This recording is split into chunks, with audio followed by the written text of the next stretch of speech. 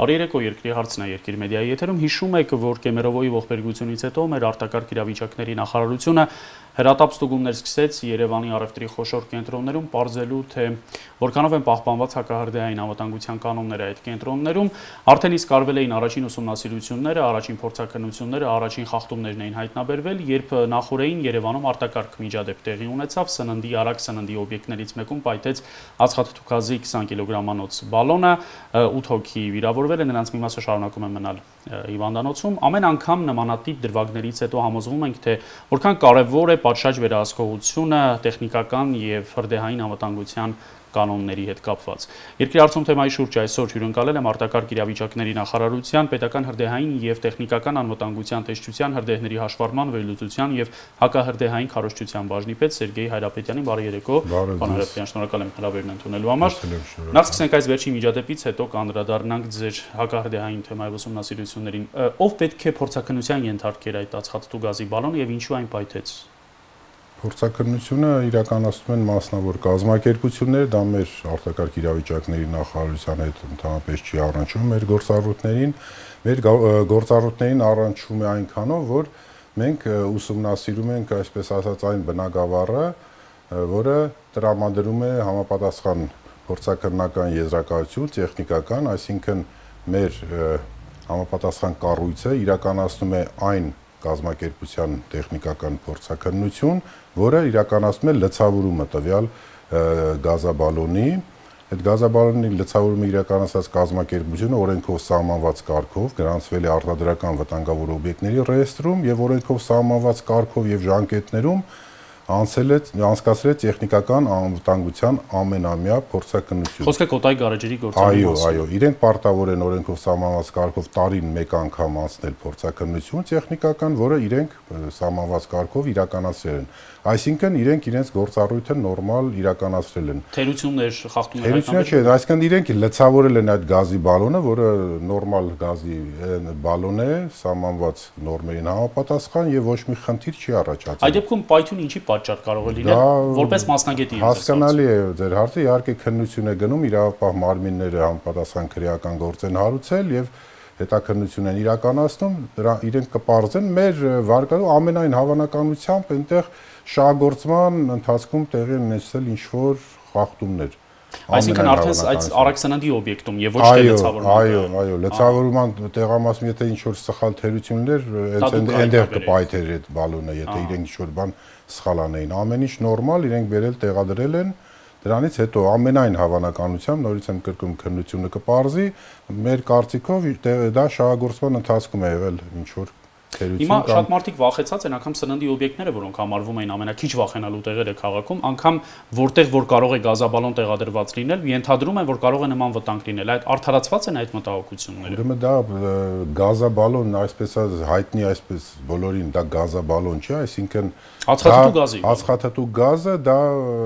գազ է, որը օգտագործվում է, ինչպես դուք գիտեք, կոնկրետ այս դեպքում գարեջրի ինչ որ գազ տալու այսպես ասած նպատակով գազի բալոն ասելով որպես կան մեր ժողովուրդը հասկանում այն բանը որ օգտագործում են ինչ որ որպես վառելանյութ օգտագործվող գազ իհարկե շենք շինություններում հիմնականում օգտագործում են այդ օբյեկտներում կարող են օգտագործել հեղուկ գազի բալոններ բոլորիս հայտնի նաև բնակարաններում ինչու՞ չէ եւ բնական գազը Սա արդեն մի քիչ ուրիշ հարց է։ Նրա հրդեհավտանգավորությունը բնականաբար շատ ավելի բարձր է, քան ածխաթթու գազը ընդհանրապես հրդեհաշիջող նյութ է, ոչ թե ասենք հրդեհի հրդեհ հրդեհ առաջացնող Իմիջիալոց քանի որ մոտեցակ այդ որպես վառելանյութ գազի օգտագործմանը, այսպիսի դեպքեր են հաճախ լինում եւ գազա լիցքավորման կայներում հիշում եք որ մոտ 2 շաբաթ առաջ էր որ արմավիրում հերթական պայթյուն եղավ, մեքենան նոր էր լիցքավորվել եւ շատ չհեռացած պայթեց։ Այստեղ թույլ վերահսկողությունը պատճառը որ գազաբալոնները պայթում են, ի՞նչն է պատճառը։ Ուրեմն գազաբալոնների վերաբերյալ մենք արդեն բազմիցս խոսել ենք, պատրաստում է արդեն որոշակի օրենսդրական փոփոխություններ, այդ բնակավարում արդեն պետք է այդ համապատասխան լիցենզավորված կազմակերպություններ իրականացնեն փորձարկում եւ տեղադրումը մասնավոր կազմակերպություններ են մասնավոր այո որոնք լիցենզավորված են լինելու իրենք պետք է ունենան համապատասխան լիցենզավորված անձնակազմ, այսպես ասած, նաև պրոֆեսիոնալ, որակավորված, եղել է կա հիմա էլ կա 5 կազմակերպություն, կան, ուղղակի որոշ օրենսդրական բացեր կային, հիմա շատ ավելի խստացվում է։ Իրենց լիցենզիաներն էլ դուք եք տալիս որպես նախարարություն։ Լիցենզիաները մենք չենք տալի, ընդհանրապես արտակարգ իրավիճակների նախարարությունը այս բնակավորում ոչ մի գործառույթ հիմա չի իրականացնում եւ ամենայն հավանականությամբ այդ նոր որոշումով էլ չի իրականացնում։ Բայց ավտոգազալիցքավորման ճնշումային կայանների լիցենզիաները ստուգումները Ավտոգազալիցքավորման ճնշականը դա ուրիշ հարց է, նա համարվում է արտադրական վտանգավոր օբյեկտ, իհարկե մեր լիազորությունները այնտեղ տարածում են եւ այդ տեխնիկական մասով եւ հրդեհային անվտանգության մասով, բայց կոնկրետ բալոնների լիցքավորման այդ այդ ներողություն բալոնների փորձարկման տեղադրման կայանների հետ մենք ոչ մի առնչություն չունենք։ Այս վերջինը որ դեպքն էր, բալոններ անսարքի եղել թե լիցքավորման։ Բալոնի չէ, բալոնի խնդիրն է հիմնականում, ուրեմն ասեմ ձեզ, որ այդ հարցին անդրադարձանք, ժողովրդի մոտ տպավորություն կա եւ մեր լրատվամիջոցները շատ հաճախ ասում են, այսինչ գազալցակայանը պայթել է բայց իրականում պայթում է ոչ թե գազալցակայանը, այլ պայթում է գազի բալոնը մեքենայի գերակշիռ մասը դեպքերի Այսինքն որ գազալցակայանում է լիցքավորվել, բալոնը անսարք է եւ հիմնականում կապված է այո գազա բալոնի հետ հարցը, բայց չպետք է մոռանանք նաեւ կա նաեւ գազա լցակայանի խնդիրը, որը հիմնականում կապված է բարձր ճնշմամբ լիցքավորելու հետ։ Լավ, թող օրենսդրական փոփոխությունները լինեն, ես հուսամ, սա քանի որ առանձին մեծ թեմա է, մի այլ առիթով կհանդիպենք եւ խոսենք։ Հիմա քանի որ մեր հանդիպման բուն թեման եւ անգամ այս դեպքը դեռ չեղած հրդեհատեխնիկական փորձակնություններ են, ուսումնասիրություններ են, որ դուք անում եք Կեմերովոյի դեպքից հետո։ Խնդրեմ հակիրճ ներկայացնեք ձեր հիմնական եզրակացությունները, որոնք են խոշոր առևտրի կենտրոններում ինչ վիճակի։ Ուրեմն ասեմ, որ միջև Կեմերովոյի դեպքը դեռևս հունվար ամսից մեր արտակարգ իրավիճակների նախարարի հանձնարարությամբ մենք սկսել ենք իրականացնել հրդեհատեխնիկական հետազոտություններ մեր հանրապետության մարդկանց զանգվածային ներկայության օբյեկտներում։ Ուղղակի այս դեպքը, ինչպես ասում են, խթան հանդիսացավ, որ մենք հիմնական ուղղվածություն այս վերջի օրերին ուղենք դեպի առևտրային խոշոր օբյեկտները, ասենք մանկական ժամանցի վայրեր, կինոթատրոններ եւ այլն։ Եվ այդ հետազոտությունները այսօր էլ շարունակվելու են եւ մոտակա ժամանակահատվածում եւս շարունակվելու են, դա շարունակական բնույթ է կրելու։ Իհարկե մեր իրականացրած հետազոտությունները բարձեցին, որ կան օբյեկտներ, որոնք համեմատաբար ավելի բարվոք վիճակում են գտնվում ակարդիային առումով կան օբյեկտներ, որոնք ոչ այնքան բարվոք վիճակում են գտնվում։ Ուրեմն բոլոր հետազոտված օբյեկտներին մենք օրենքով սահմանված կարգով հանձնում ենք կարգադրագրեր, որտեղ նշում ենք այդ թերությունները, որ այնտեղ արձանագրվել են, տրվում են համապատասխան ժամկետներ, Եվ այդ ժամկետներում պետք է այդ կազմակերպությունները վերացնեն այդ թերությունները։ Դրանք ողջամիտ ժամկետներ են։ Իհարկե ողջամիտ ժամկետներ բնականաբար օրինակ ես ձեզ բերեմ, ասենք օրինակի համար եթե կրակմարիչներ չունեն կամ քիչ են, դրանք ձեռք բերելու համար մենք 1 ամիս ժամկետ, 2 ամիս ժամկետ չենք տալ, որովհետև դա ձեռք բերելու համար 1-2 օրը լրիվ բավարար է։ Բայց կան կապիտալ բնույթի հարցեր, որոնք կապված են օրինակ հակարդային պաշտպանության համակարգերի մոնտաժման, հետ, ասենք, ինչ որ կապիտալ ելքեր բացելու հետ։ Այսինքն կան դեպքեր, երբ այդ համակարգը բացարձակ մոնտաժված էլ չէ։ Այո, իհարկե կան։ Որն է այդ դեպքը։ Դե դեպքերը ես լրատվամիջոցներով հայտնենք, եթե ամենանոր դեպքերից, հին դեպքերից ասենք, օրինակ Տաշիր առևտրի կենտրոնում Այսինքն երբ հա։ Տաշիր առևտրի կենտրոնը գումի շուկայից կամ գումից, դա գումներ, չէ, վերապրոֆիլավորվել է որպես առևտրի կենտրոն, չի նախատեսվել այդտեղ հրդեհը։ Ոչ թե չի նախատեսվել, ամենայն հավանականությամբ այնտեղ եղել է, դե տարիների համար ես չեմ կարող ասել այնտեղ եղել է թե ոչ, ամենայն դեպս այս պահին չկա։ Օրինակ այնտեղ կա նաև հրդեհ ազդանշանման համակարգ պետք է լինի, որը ազդարանում է հրդեհի մասին։ Այնտեղ կան հատուկեն տվիշներ,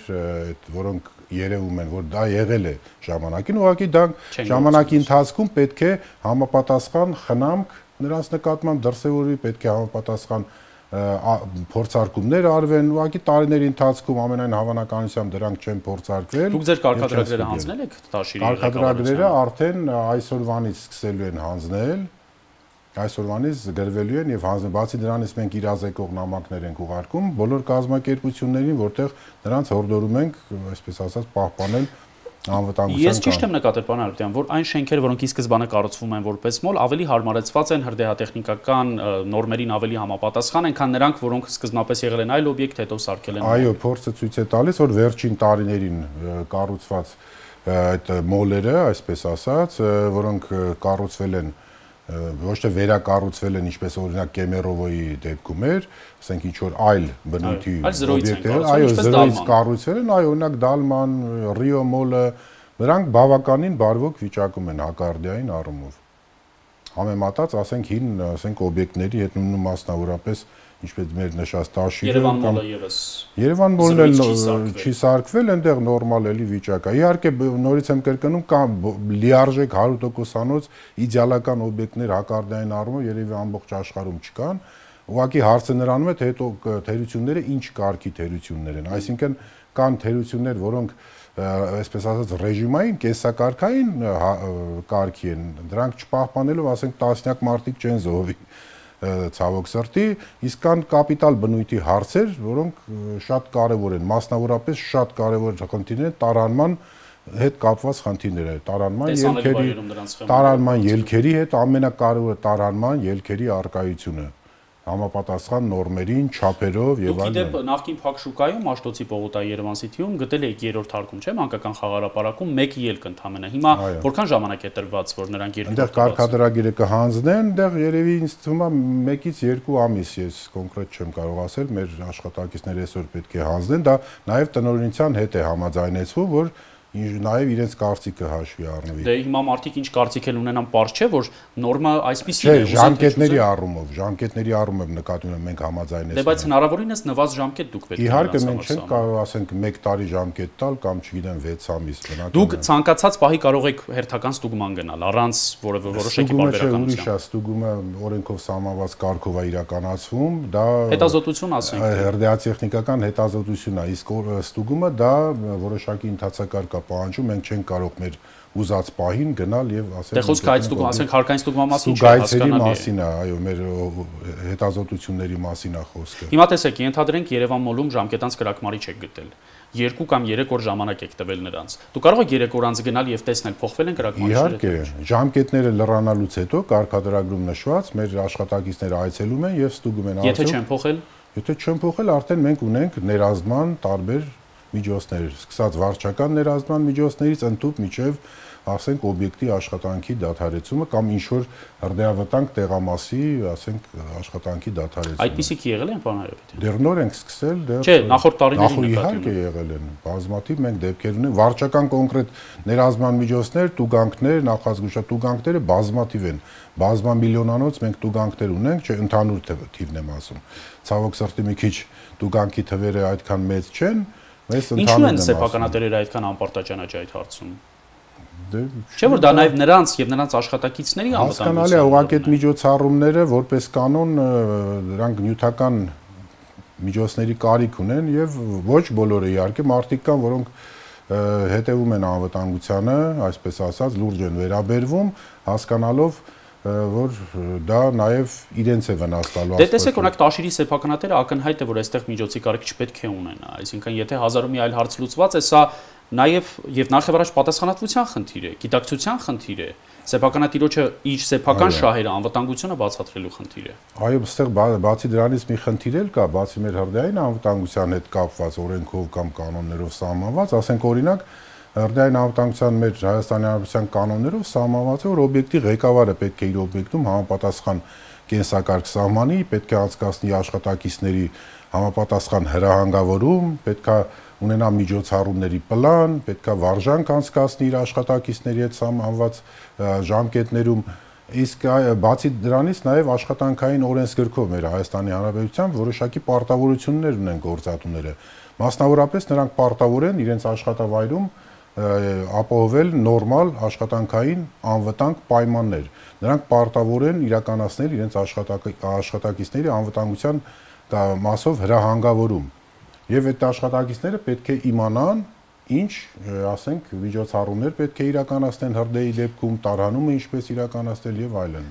Մոլերը առևտրի կենտրոնները քիչ թե շատ հասկանալի է։ Երևանյան նկուղներում գործող փաբեր, ակումբներ կան, որտեղ ես երբևէ օրինակ ոչ տարհանման սխեմա եմ տեսել, ոչ հակահրդեհային ազդանշանման համակարգ եմ տեսել, ոչ հակածխային համակարգ եմ տեսել։ Ինչ անել այդ նկուղների հետ։ Չգիտեք ոնց դուք կարող ա ինչ որ համակարգերը չտնակ դե հակածախայինը երևում է, չէ՞։ Հակածախայինը հենց կարող է չտեսնեք շատ ուրشادիր, եթե չնայեք։ Եթե դուք մասնագետ եք, կտեսնեք իհարկե, բայց կարող է եւ չնկատեք։ Ես չեմ ասում, թե ամեն տեղում կա։ Իհարկե, ձեր հարցը շատ ցավալի հարց է։ Մեծամասնությունում չկա եւ այդ մասի մեկ անգամ չէ որ գրվել է։ Այո, ես ասում եմ, ես չեմ ասում թե մեծամասնությունում կա կամ փոքրամասնությունում չկա, իհարկե որոշ տեղերում չկա։ Բնականաբար ձեր նշած համակարգերը օրինակի համար ձեր նշած տեղերից մենք իհարկե դեռ չենք ասել բոլոր օբյեկտները, որտեղ դա շատ երկար process է, բացի այդ գործառույթից մենք բազմաթիվ այլ կարևորագույն գործառույթներ ենք իրականացնում եւ ֆիզիկապես հնարավոր չի շատ արագ այդ ամեն ինչը բոլոր օբյեկտները ստուգել։ Ես օրինակներ կարող եմ բերել, մենք թաքցնելու ինչ որ ոչինչ չունենք, մասնավորապես մենք հիմա առաջնահերթ ուշադրությունը այդ խոշորներից հետո կենտրոնացնում ենք մանկական ժամանցային կենտրոններին, մասնավորապես վերջին օրերին մենք ստուգել ենք օրինակ Նեպտուն համալիրը, գիտեք, այդ խորենացի փողոցի վրա իհարկե, նու չարաշահում չէ, հակարդային ասենք խախտումներ, օրինակ ասենք այնտեղ թերություն կա կապված ենթադրենք խաղասրահից այնտեղ էլ երկրորդ ելքի խնդիր կա։ Տարանման հիմնական դուռը բացվում է դեպի ներս, որը նույնպես խախտում է։ Անալդյան, դա հասկանալի եւ դրանք փաստորեն ստանդարտ խախտումներ են։ Տեսեք, իմ ասածը հենց նկուղների պահը ինչու եմ ես հատկապես կարևորում, որովհետեւ երիտասարդությունը այնտեղ շատ է լինում։ Երեկոն երիտասարդներ անցկացում են այդտեղ։ Դրանք լինում են գերբեռնված որպես կանոն, փաբերը եւ ակումբները։ Եվ ի վերջո, եթե այս դեպքում Կեմերովոյի դեպքը խթան դարձավ, որ դուք ակտիվացնեք ձեր ստուգումները, պիտի հիշենք նաեւ ամենաարյունալի, ամենաշատ զոհ ունեցած Խրամայելոշեդի դեպքը 2009 թվականին ավելի քան 150 զոհ հենց այդպիսի միջավայր էր, երբ փոքր տարածքում գերխիտ մարդկանց թիվ էր կենտրոնացած եւ հակարդային պարզագույն տարեր չկային եւ ընդ որում կիրառվեց նաեւ այդ հեղուկ կրակ կոչվածը, երբ պահպանված չէին նորմերը, Երևանյան փաբերում ես դες վստահեցնում եմ շատ փաբերում կարելի է նմանատիպ իրավիճակ գտնել դա հասկանալի այդ օրինակը որ դուք բերեցիք, այդ օբյեկտը իրոք, ասենք, ոչ բարվոք վիճակում էր, այդ կաղնժույթը, այսպես ասած, Այնտեղ իհարկե բավականին լուրջ թերացումներ կային նաև վարչակազմի կողմից, այնտեղ նույնիսկ այդ նախ այսպես հարցել կա, թե ինչու են դրանք գեր բեռնված որոշակի թվականակ պետք է լինի, ասենք կան, եթե այդ ակումբը նախատեսված է ենթադրենք 100 հոգու համար, եթե այնտեղ հավաքվում են 300 հոգի, դա արդեն իսկ լուրջ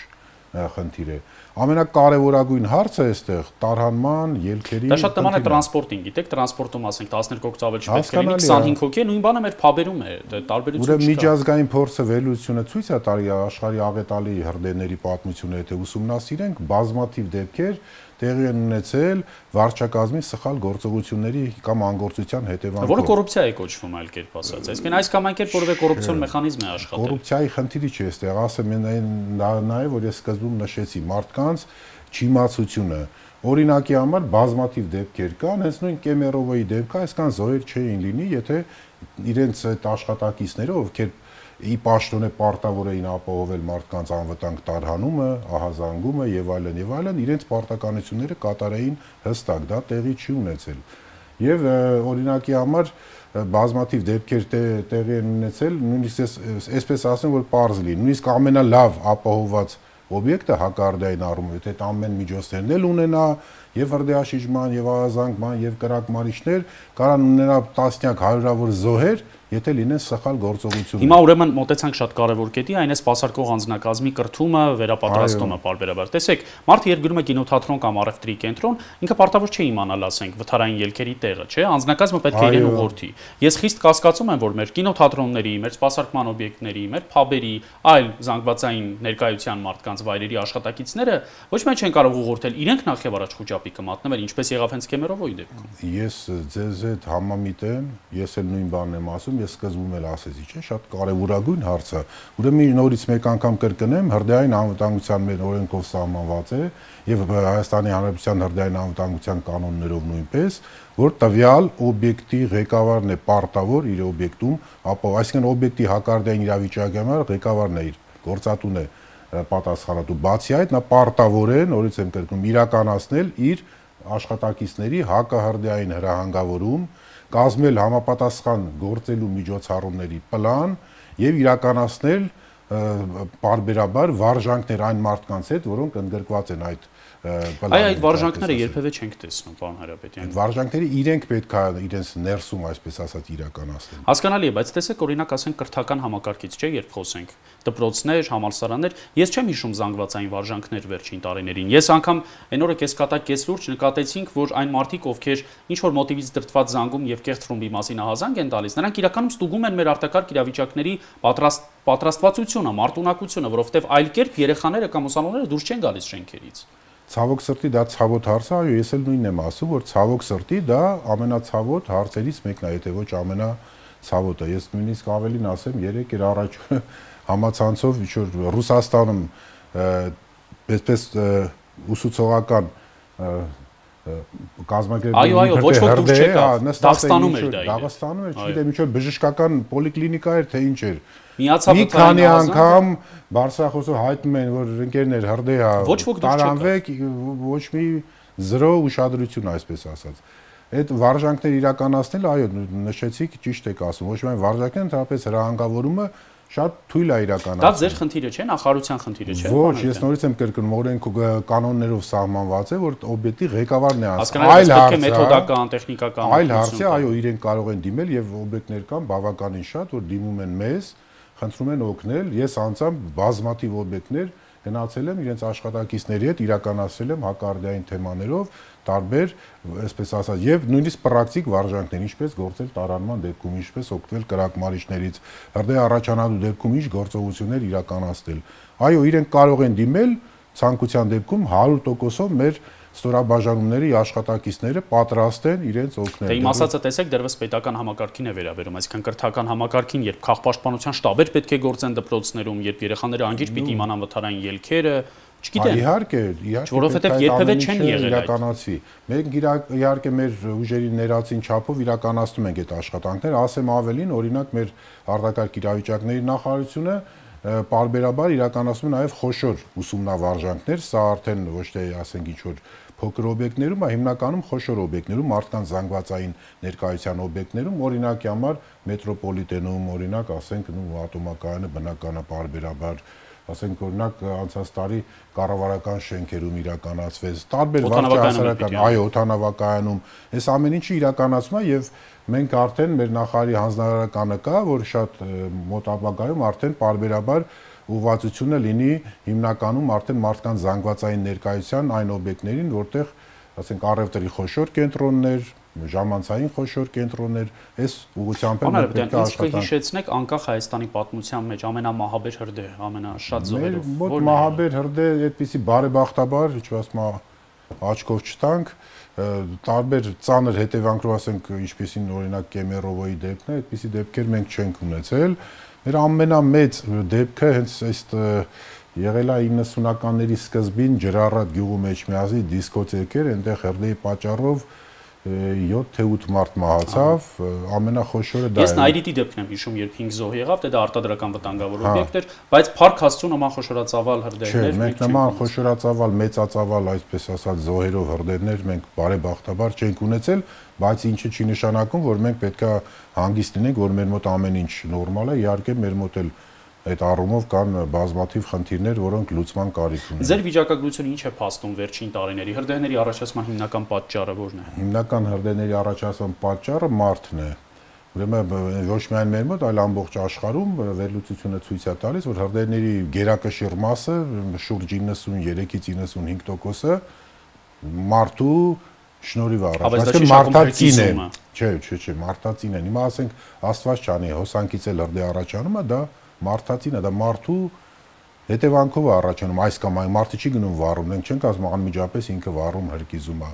Ասենք ինքը ծխում գցում է, սիգարետը հրդե առաջանում, դա մարդու հետևանքով չի, մարդու պատճառով չի, կամ գնում է անտառ, խարույկա վառում, թողնում է գալիս է, այնտեղ հրդե առաջանում այսինքն բնական չի, այսինքն անտրոպոգեն է, մարդածին են այդ հրդեհները։ Հիմնական պատճառները ամենատարածվածը շենք շինություններում դա Էլեկտրատեխնիկական պատճառներն են ամենատարածվածը, որոնցից էլեկտրական կարճ միացումն է բոլորին քաջ հայտնի։ Էլեկտրական սրբիչներ կան, բարձում է վերջերս այդպիսի դեպքի պատճառով նաև մահացություն եղավ ցավոք։ Իհարկե, ասում եմ, էլեկտրական պատճառներն են, որոնք ընդհանուր հրդեհների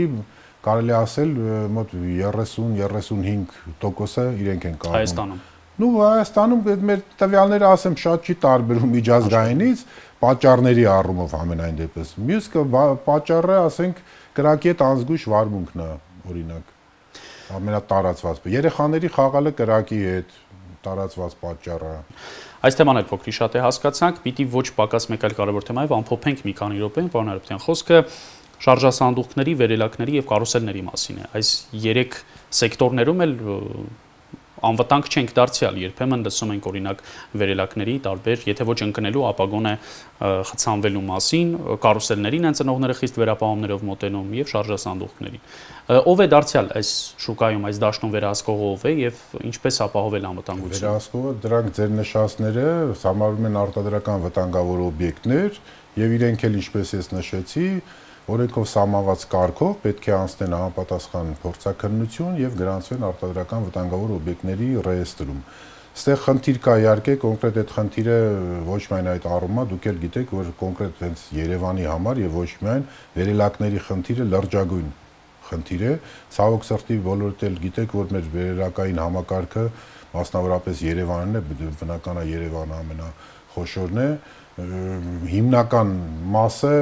ժամկետանց են, հին վերելակներ են, որոնք բազմիցս վերանորոգվել են եւ դրանցից մեծ մասը ուղղակի կարիք ունի ընդհանրապես փոխելու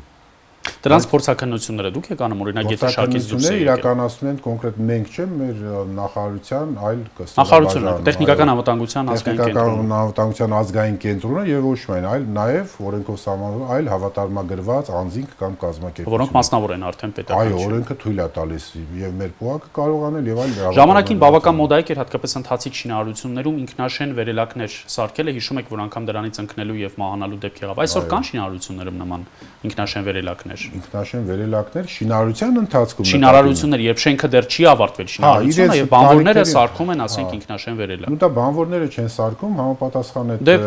ղեկավարի նա սարքում իհարկե կան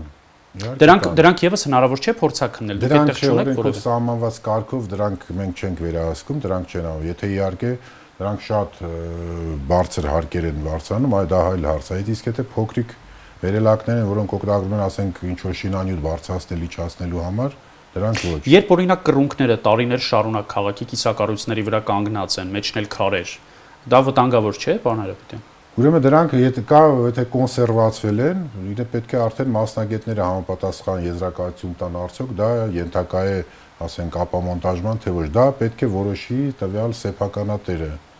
Մենք կռունկի ինքնելու դեպքեր ենք ունեցել Հայաստանում, հետեւաբար անվտանգ անցնել դրա կողքով չի լինում։ Մենք ահազանգեր էլ ունենում ենք, իհարկե արձագանքում են, եթե որոշվում է, որ դա ապամոնտաժման կարիք ունի, դա քաղաքապետարանը պիտի որոշի, այսինքն համայնքապետարանն է որոշի։ Որոշումը քաղաքապետարանը տվյալ, ասենք,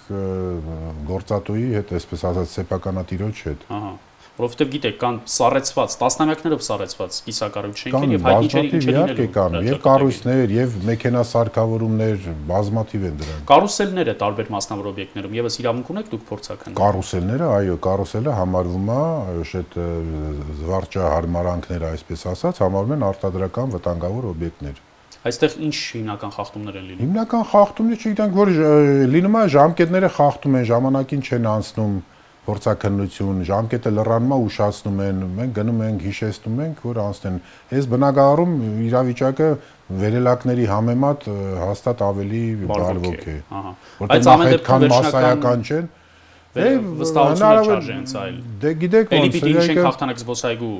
հայտնի դեպք տարիներ առաջ։ Նորից եմ կրկնում նույնիսկ փորձակնություն անցած ինչ որ սարկավորում ապահովագրված չէ ինչ որ պատահարից, այսպես 100%-անոց ասել, որ դա փորձակնություն անցել է եւ այնտեղ պատահար չի կարող լինել, չի կարելի բոլոր դեպքերում։ Բայց մեր կարուսելները, ատրակցիոնները ընդհանուր առմամբ անվտանգ են բաները։ Ընդհանուր առմամբ, այո, որովհետեւ դրանց մեծ մասը սահմանված կարգով անցնում է փորձակնություն։ Ճոպանուղիները եւս։ Ну ճոպանուղիներն էլ իհարկե դրանք Դուք հիշում եք օրեր առաջ Գուդաուրիում ինչպես դեպք եղավ երբ։ Դեպք եղավ, այո։ Հենց հիմա մեր ասենք ճոպանուղիներն էլ էլի ստուգվում են, միջազգային կազմակերպություններ էլ կան, իրականացնում են դրանց,